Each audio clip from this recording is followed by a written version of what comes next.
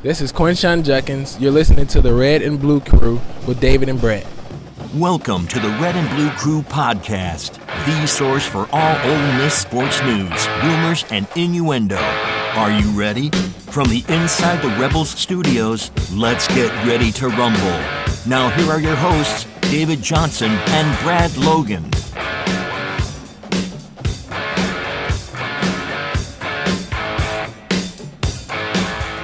Welcome into the Red and Blue Crew podcast. A little bit different this week. It's a new it's a new week, and but it uh, also has a game that's a lot earlier. It's Thanksgiving Day night. I'm sorry, and it's Ole Miss and Mississippi State. The Rebels kind of going in different directions than the Bulldogs. But the records indicate over really since 1996, this series has been dead even. I don't know if that's the case on Thursday night, but we'll see soon enough. David Johnson joins me, and David, a big opportunity for Ole Miss to win 10 games again. Yeah, no doubt, and uh, an opportunity to keep the hope for the programs. And, and, you know, this is hard to believe. The program's first ever eleven win season. I, I, I mean, got a couple of national championships under your belt, and that that just sounds odd. But they play more games nowadays. Yeah, that's got a lot to do with it. Back when Ole Miss was winning championships in the late 50s and late 60s, uh, only playing like eight or nine conference uh, uh, regular season games, and then of course having the bowl games. Uh, Ole Miss goes down to Starkville, and we learned David uh, on Tuesday night that Ole Miss would come in at number 12 in the college football playoff rankings. I was a little surprised that they they popped in the top 12. Really only need a couple teams to lose, and uh, if you can continue to win out, that gives Ole Miss a great chance of playing in the Cotton or the Peach Bowl. Yeah, I think so. And uh, I, have always, and, and I hear all the Missouri talk out there with the Cotton Bowl, but you know, if you're the Cotton Bowl, if you're the SEC, I mean, if you're ESPN, do you want a Missouri Texas matchup in the Cotton Bowl, or do you want an Ole Miss Texas matchup in the Cotton Bowl? Um, I know the game I would tune into. Now, granted, I'm a dyed in the wool red and blue uh, fan, but uh, Ole Miss and Texas to me just has more curb appeal, Brad. It definitely does, and uh, it would actually, you know, pit two teams that have been very successful in their conference, and I think would uh, would sell out. If not sell out, would be pretty darn close with two fan bases that travel very well uh, when it comes to bowl games. Uh, this game on Thursday night, David, uh, you know, we kind of went up and down about how Ole Miss uh, should pro- should win this game. I mean, I've been on a couple of shows and I basically said, you know, Ole Miss scripts it really well. Pending anything different, they'll probably get the ball to start the game. Uh, and if they do, uh, the odds of them scoring are really good because Charlie Weis and, and Lane Kiffin script the uh, the first drive really well. And I think if Ole Miss can get the ball down the field to its receivers, really um, really get into that Mississippi State secondary, I think that's going to free up the linebackers and Jett Johnson and, and, and Bookie Watson to allow Judkins and uh, Ulysses Bentley to, to, to kind of get the ball down the field, running the ball. And I think that's the recipe for success. Uh, throw in Caden Prieskorn at tight end, catching some balls, and I think it should be a good day offensively. What do you think is going to happen specifically early in this game? Yeah, I, I think you're going to see Mississippi State run blitz. I think they're going to uh, try to take Quinshon Judkins out of the game. Uh, they're going to try to harass and intimidate Jackson Dart to mitigate the Rebels' ability to pass the football. And um, I think that's what their game plan is. I, I really do. I think uh, you know, they think if they can stop Ole Miss from running the football and apply pressure to Jackson Dart, uh, that's what's going to happen. They know the Ole Miss offensive line is banged up. Uh, no matter no matter what Lane Kiffin says about who's going to be ready to play and who's not, they know it's banged up. They're playing out of position. Your center is playing guard. Your guard is playing tackle. Uh, quality depth behind the first five practically not there. So uh, Mississippi State knows all that, and um, they're gonna they're gonna try to exploit it. I think that's their only way, and then hope somehow or another their what has been an anemic offense is going to be able to put up enough points to barely beat Ole Miss. Now, I picked 42 to 17 Ole Miss. That's how I think this game is going to go. Personally, I think Lane Kiffin is pissed off about how his offense performed against Louisiana Monroe. I think they're going to come out on fire. And uh, Mississippi State simply doesn't have enough offensive firepower to uh, to to to be able to topple Ole Miss. I cannot see it.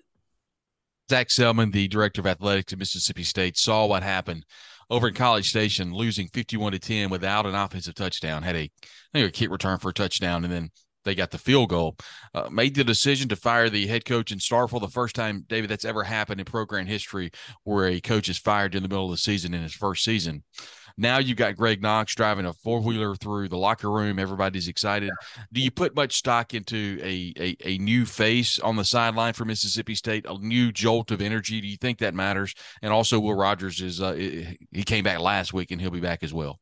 No, I, I don't. I don't think the energy's real. I think that's why you see a four wheeler in the locker room. Um, you know, um, they, they, these kids are smart they they they know Greg Knox is not going to get that job. They know that there's going to be a completely new staff in town. It, it, I, I think they're going to hire a head coach next week. If they're smart, they will. And um, you know, so you know, pull all the chicanery out of it, and then it doesn't matter one bit. This is about uh, who's got the best team. Ole Miss has the best team. Now, I will say this and I'm going to eat an awful lot of crow if this happens. We've seen some crazy stuff happen in this game over the years. Um, so, you know, you never say never, but um, I, am almost at saying never with this year's Bulldog team and the way they've played. Uh, I know Will Rogers is back. I, I, really don't think that matters very much. Uh, Will doesn't have a lot to work with around him. Um, yeah, I, I said 42 17, Brad, and I'm going to stick to my guns on that one. What do you expect the crowd to be like in Starkville? I, have said that I don't think Ole Miss will take 5,000 people there. What, what do you think? Yeah, it, will be pretty good. I could see it being 55,000, maybe north of that a little, uh, just because no matter what, it's their biggest game of the year, period. They really don't care what the circumstances are. They want to beat Ole Miss. And, uh, you know, that's admirable in a lot of ways. Um, and, and I just think that's how their fan base approaches this game, you know. And if it's a, a butt whooping, um, it'll be emptied out rather soon. But I, I, from an Ole Miss standpoint, I've heard you say 5,000 it wouldn't surprise me if, if Ole Miss put seven, eight thousand in that stadium Saturday night. Um, not at all. I will say this though, it's been a frustrating year in Starkville, and we all know that. Just just be careful, Rebel fans. Be be safe and be careful. Get in there and get out. That's all I got to say. This is a one of the better opportunities for Ole Miss to go on the road and win. I don't know that I've seen Ole Miss as a 14 point favorite. I went all the way back to 2003 and I couldn't find where Ole Miss was a, larger favorite. Now that thing's been bet down to 10, so uh, that's going to change everything. I just don't remember it ever opening that big. Um, it is coming down to 10 and, and, that's a pretty pretty big jolt over the last three or four days. Anything particular you think that has to do with the offensive line? You think it has to do with the questions that chris low put out about jackson dart? You know people that aren't familiar with the program maybe they're listening to what people like chris low are saying and they're you know the line comes down. Mm, i don't know. It, it, I think it really has something to do with now bear with me here. Um Ole Miss faded down the stretch last year, right? So I think it has a little something to do with that, a little something to do with Georgia whooping our butts, and a lot of something to do with that score being seven to three Ole Miss at halftime over Louisiana Monroe. Um, you know, so so I could see some people thinking this team is fading down the stretch again. I, I can't see that. Uh, I haven't seen that. Um, you know, Georgia, I think, is going to win their third straight national title. Uh, getting a bunch of kids up for a Sun Belt Conference opponent that late in the year, coming off the Georgia loss, is probably pretty hard to do. Um, getting them up to play the Egg Bowl on Thanksgiving night, not going to be hard. Not going to be hard. Um, you know, and and it, it's kind of funny. You know, these kids on this roster now, they don't remember the bad times here recently at Ole Miss. You know that ended in probation and bowl bans and all that stuff, and how much joy uh, the other side seemed to take in all of it. Um, so it probably doesn't matter one iota uh, to Jackson Dart or to Quinshon Judkins or to anybody else on that team. But it matters to the Ole Miss fans. It does. And and and I don't care what the line is. If Lane Kiffin's football team doesn't go out there Thursday night with the mindset of putting another nail in the coffin of a program who has literally run off the rails, whether it was their fault or not, and it wasn't their fault. Uh, you know, God bless Coach Leach. We all miss him. Terrible that it happened. They made a whiplash wrong decision in promoting Zach Arnett. I think they'd even tell you that now. And, and they're paying the price for it. So every Ole Miss Rebel on that team ought to go into that game with, with a little bit of vengeance in their heart. I don't think they will just because the history doesn't affect them like it affects the people listening to us and, and you and me because we, we've lived through many, many years of it. I, for to whatever it's a football game. Yeah, and you know, for whatever reason, David, I think this year may be a little different. And, and let me give you a couple of scenarios, or at least tell you what what I've seen. You know, Jackson Dart I- independently said that we just don't like how that game finished last year.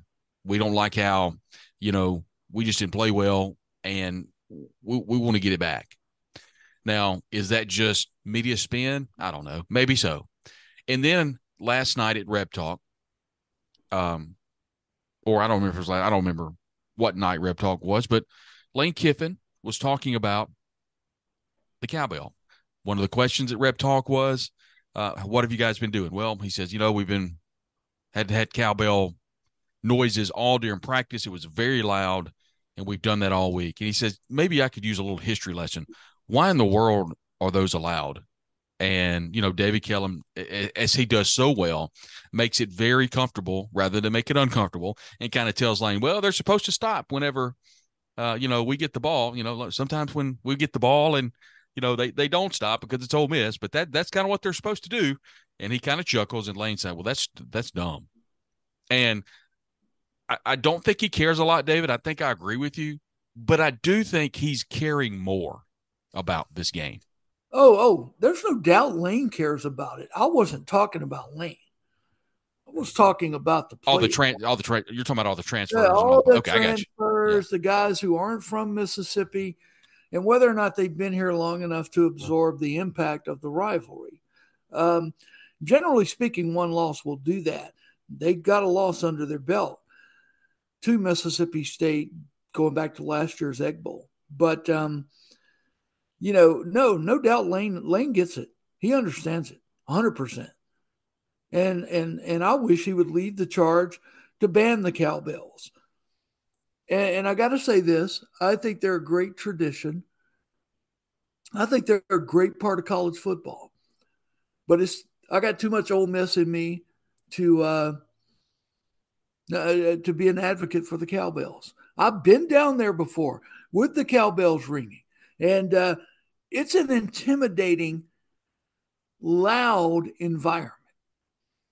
I mean, I got to tell you, folks, I mean, I mean, they have as good of a game day environment in Starkville inside the stadium. I'm not talking about the Grove versus the Junction. That's not even in the same conversation. The Grove wins every time. But inside the stadium with those cowbells, it's as good, if not better, than Vaught Hemingway Stadium. A few years ago, uh, of course, we were all there, and um, it was I had to take a an aspirin, Aleve, what have you, because my head was pounding. Uh, they were really, really loud. Of course, the press box is open there, so you're basically amongst the the crowd, and it was, um, you know, they were in full force. Mississippi State pointed out uh, earlier this week that there's only 500 tickets remaining until this game is sold out. Now, obviously, the secondary market's flooded with with cheap tickets, but uh, just from a uh, a sales standpoint, they claim there's only 500 left. If you know, I think that how, what sixty thousand, I think 58, 60,000. What is that's what it holds. If that many show up, you got five to ten Ole Miss um, thousand Ole Miss fans. That'll make for a good crowd. I think it's just even more important, David, for Ole Miss to get up and get up early, and um, you know, I just think that's the key, the recipe for success. Uh, if you look at this game and let's all right, let, us hypothetically say you're right. What'd you say? 38 to 17? 42 17. 42 17. Let's hypothetically say they're hoisting up the Egg Bowl trophy. We're getting ready for post game. It's 38 17. Rebels win. Do the Rebels get the citrus or are they going they going bowling, big bowling in the top 12? No, I, am telling you, I, I think the Cotton Bowl wants Ole Miss and all of the suits and talking heads are going to figure out a way to make that happen. That's that's where I'm at with it. Ole Miss is going to bring a better crowd than Missouri. Period. The Cotton Bowl is in business to make money. Period. They donate their money to charity, but they got to have it first. Television wants a game they can market. Period. Look, I'm not going to tune in to watch an old Big 12 matchup, Big 8 matchup between Texas and Missouri. That doesn't move my meter. Yeah, one of the one of the models uh, had Tulane against Texas. I mean, I, I don't know about that, David. Man, I'm, I'm telling you what. I, I saw one of the talking heads on ESPN last night do his projection if it were a 12 team playoff this year. And what they had up on the screen, he left Ole Miss out and had Tulane at 12. I, I, I couldn't believe that. He must have missed the schedule where actually, oh, you know, if he looked at the schedule, Tulane has one loss. That one loss yeah. is to Ole Miss. Yeah, didn't look at and, and see who the loss was to. Just figured, well, I'll stick a G5 team in there.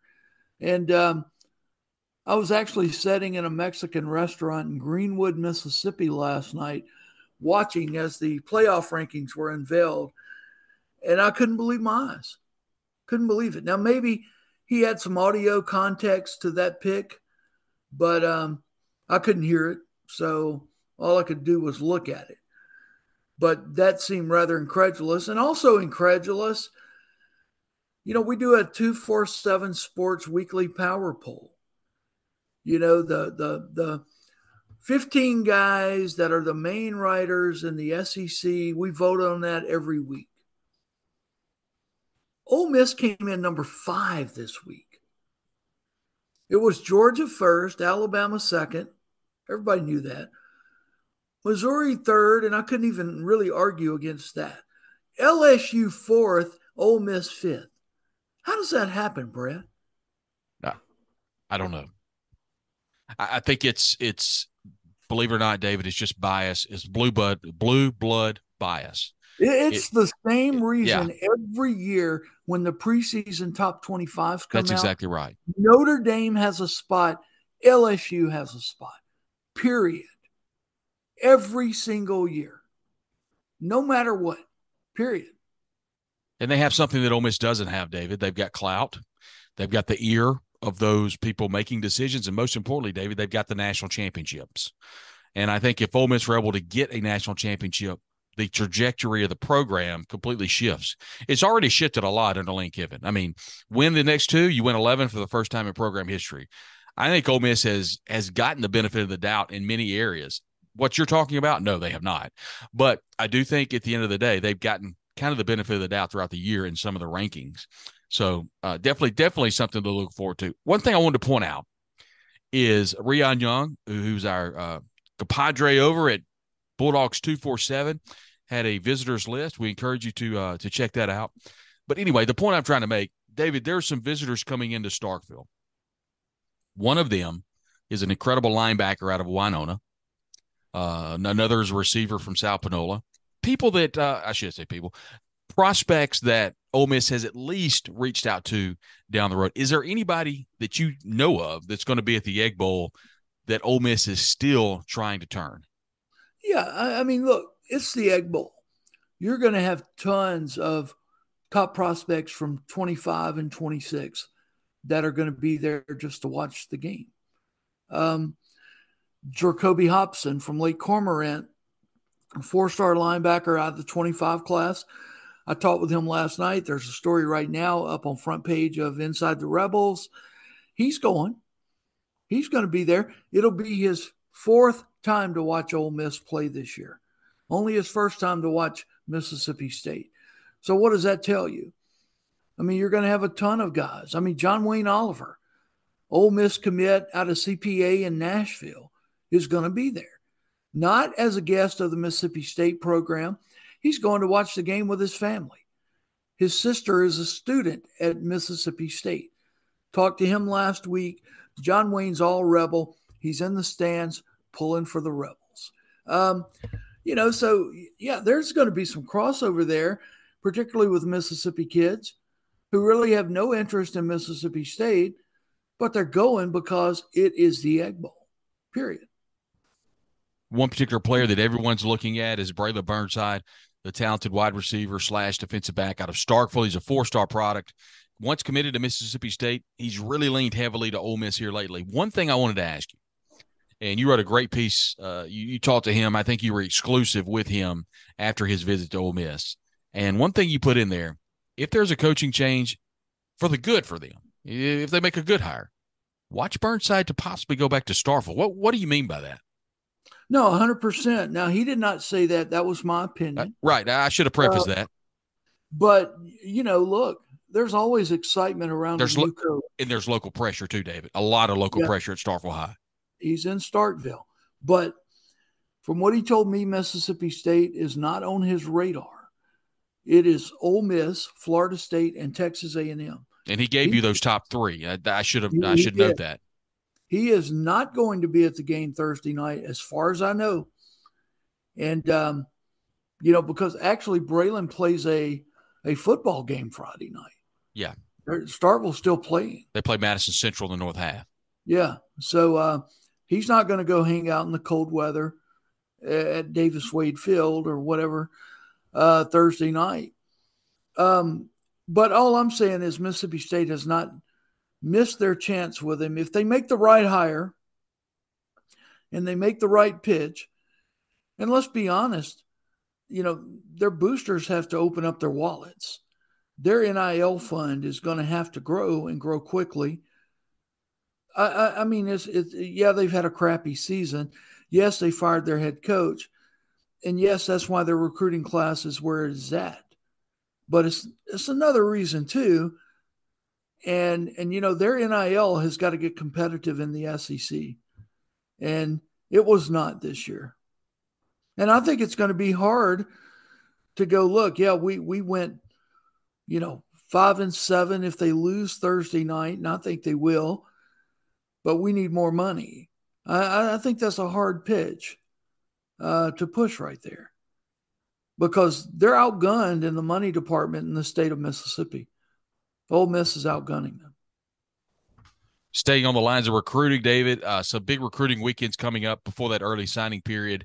Uh, any particular prospects you're kind of looking for, possibly may pull the trigger uh, for Ole Miss? Maybe some flips you see in the in the uh, in the wings. Yeah, possible flip. I mean, look, we we had controversy about this earlier this week Charleston Collins, the four star edge from uh, Wilbur D. Mills High School over in Little Rock. I think I was the first one to uh, put a, a flip forecast in for Charleston. And uh, Steve Wiltfong followed me up that afternoon and did the exact same thing. If y'all know Steve, and you do if you're a 24 7 subscriber, you know Steve bets about 98% on his crystal ball predictions. He's rarely wrong. Uh, Steve and I did not discuss Charleston Collins. We haven't talked in several weeks. So that tells me my sources and his sources were saying the same thing. And then one of our readers pointed out another Ole Miss site, and, and he didn't say which one, uh, has also forecasted Collins to flip to Ole Miss. So I think that flip is very much uh, in play. I've known for several weeks now that uh, the uh, the relationship between Maurice Davis, the edge out of Georgia, and uh, Ole Miss was uh, was going to end, and uh, it did finally. And I think if you put those two things together, that was a mutual decision. That's all I'll say. And um, if you put those two things together, I, I think it adds to the strength that Collins may flip. Now, yeah, he got on Twitter that night and said, Hey, I'm committed to Arkansas. I don't know who you guys are talking to. Well, that's very true. He's still committed to Arkansas. So we'll see.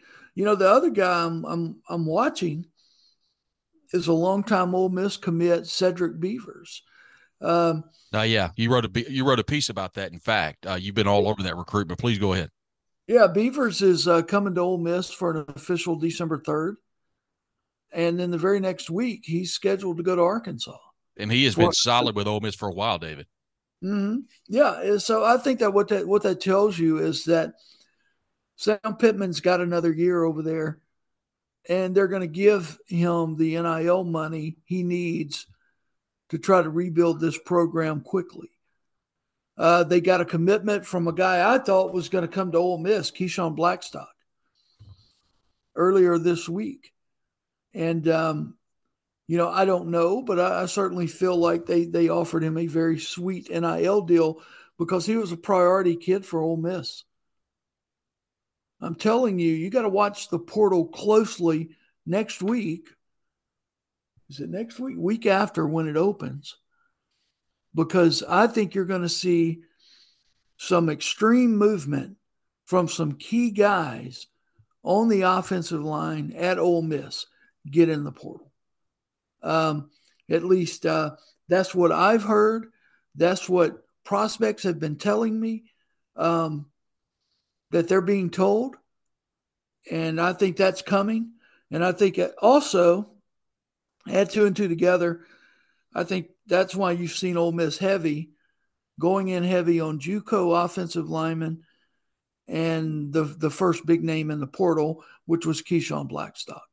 So, you know, keep an eye on on on the portal when it opens up here in a few days. Yeah, that's one area of concern because of injury is that offensive front. And if, if Ole Miss has some players decide to exit the team and enter the portal, then that just means that's what you're going to have to double back and get more players, uh, not only in the freshman ranks or the high school ranks, but also uh, going into the portal. So that's going to be uh, be a lot to watch. Uh, I think right now everybody's kind of kind of honed in on that Egg Bowl, David. And uh, last I checked, it was around ten points. Uh, that uh, kind of where it's kind of settled. We'll see what happens. I thought it was interesting. Chris Low comes out and talked about how Jackson Dart may not play. Uh, that he's been banged up. He's got the shoulder issue. He's got the ankle issue, and he is just not the running threat that he has been. And all of a sudden, they talk about how he hadn't practiced and that sort of thing. And then, uh, oh boy, here comes Jackson's dad, and he's like, "Yeah, well, uh, not sure what Jackson Dart you're talking about, but my son practiced all week, and uh, yeah, it yeah. was uh, that was funny." He came. Brandon Dart came out. He came off the top rope. yeah, oh, I love it. I love it. And and here's the deal just be honest. Yeah. Just be honest. I mean, don't use the media to try to throw your opponent off. That's all I'm saying. Don't do it. Don't do that. And, you know, of course, that comes from Chris Low. Have you read that from any Ole Miss site? I think you could probably gather where that came from. Uh, where, exactly. our good friend Chris got that from. Yeah, yeah. So, you know, just just be there for the using if you want to be. It's Ole, it's Ole Miss and Mississippi State, the battle for the golden egg. Since 1996, David Ross Elder said this thing's locked up tight as jug, even, even, all the way. And uh, now I think obviously on paper Ole Miss is a better team, but my goodness, we've seen some crazy stuff happen back in all the way from two point conversion in '97, the blown away kick in '83, uh, Romero's kick in '99, uh, the the the kick in the the, the field goal to win. Uh, the 07, 14 to nothing. Ole Miss is leading in the fourth quarter. They lose 17 14. Uh, and then you fast forward and talk about when Dak Prescott comes in number four, Ole Miss routes Mississippi State. Anything uh, can happen in this don't, don't forget the. Uh, I don't even like to say that. I'll let I you say listen, it. I'm going to tell you, me and my buddy Chuck Roundsville, we were under the goalpost on the PAT kick. I was, I was. you're right, yes. And oh my goodness, if there was any night I, I thought we were both going to have heart attacks, it's when Elijah Moore hiked his leg and imitated the dog in the end zone. And, you know, to this day, you know, people don't realize Ole Miss scored twice on that on that on that potential game tying drive. Okay. Um, the first was when uh, the ball was snapped by the center, who was my son, Eli Johnson. And um, The state was offsides. So Eli snapped the ball. He called him offsides. Right. All right. But the play was blown dead because Michael Howard, who was playing left tackle, failed to touch the Mississippi State defender. So it was ruled unabated to the quarterback. And the touchdown pass he threw, Matt Corral threw to Braylon Sanders. I forgot that. I was forgot negated. That. Yeah. And people people don't remember that play that would have been the potential game tying touchdown with the like like 40 seconds left in the game. And um, you know, we had to do it all over again because Michael Howard failed to touch the defensive end who jumped off sides. And here's the thing. Uh, Elijah Moore didn't just think that up. I mean, he knew what he was going to do. Oh, 100%. Yeah, he, that was premeditated for sure. He did. And, you know, it, was it was it was the end and the beginning of a lot of stuff there. Um, I, will just leave it at that. But um, you know, and and and then the other thing is, you know, we're we're down there in the end zone, and there's Elijah. He scored the the touchdown, and he is squatting over the goal line, and and I swear to this day, I see Royce Newman spot him, and Royce starts sprinting towards Elijah to stop him. And he couldn't get there in time. He could not get there in time. Yeah. And and and you know the the the shocking thing is um many of the Ole Miss players, there was a wild celebration on the goal line uh, and on the sideline. As we're interviewing people and talking to kids after the game, many of them had no idea what had transpired. They didn't know. They didn't yeah. see it. And um, the the state jumbotron surely didn't play it for everybody to look at. Um, and that was just terrible. And as I said here, we're doing this podcast. My son's cleats that he played in in that game are right here by my desk. And uh, I just remember after the game how heartbroken the rebels were that this had happened and how bad I felt for the kicker, um, Luke Logan. That picture that you have with Eli under the goal, do you have that frame somewhere? Oh yeah, it hangs on I, my wall. I was two feet from you when they took that picture. Man, you know John Bowen, our photographer, was standing yeah. in the back, and he's he caught that and took it, and it's uh, I'll forever, ever, forever remember that. I cannot, I, I can't, I can't believe it was that close. So Braylon Sanders catches that, David. It's a regular extra point. We're going to overtime. Yeah, it's over. I mean, we're going to overtime. The momentum has shifted to us. I, I think we win that game.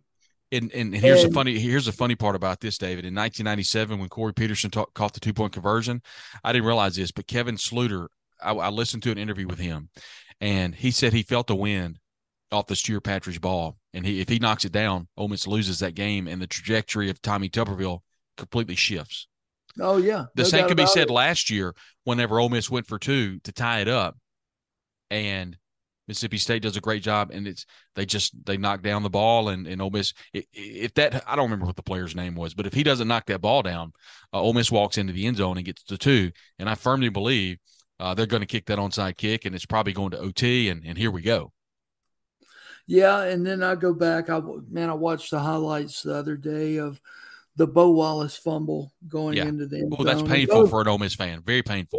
Yeah, yeah, because you know that it, that was it. It was over once the ball was fumbled forward. What was the what happens at that point? Let's say he doesn't fumble and he scores.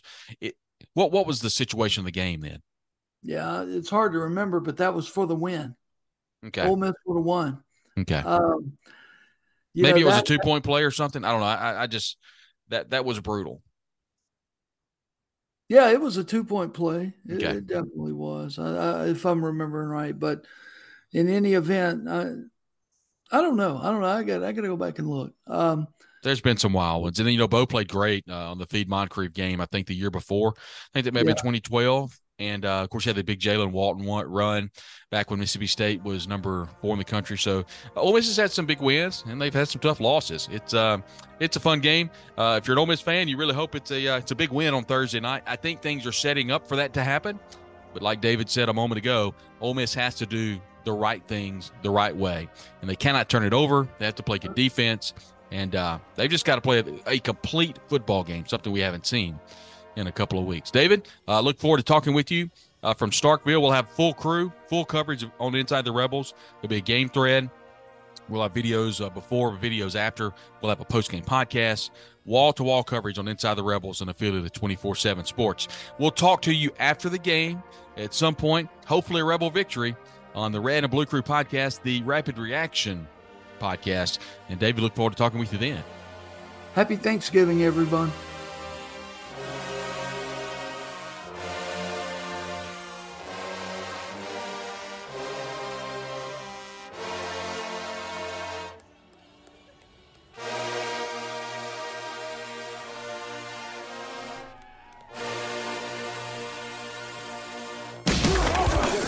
Corner is headed to Oxford. Stop by their new location in the Oxford Commons off Sisk Avenue. They'll have 4,000 square feet of Rebel gear ready for your trip to the Grove. On your next trip to Oxford, stop by the College Corner or our other great locations in Ridgeland and Flowood. Hats, shirts, polos, pullovers, sweats, t-shirts. College Corner has it all. And as always, you can visit us online at collegecornerstore.com. That's collegecornerstore.com. The College Corner, where your game day apparel meets.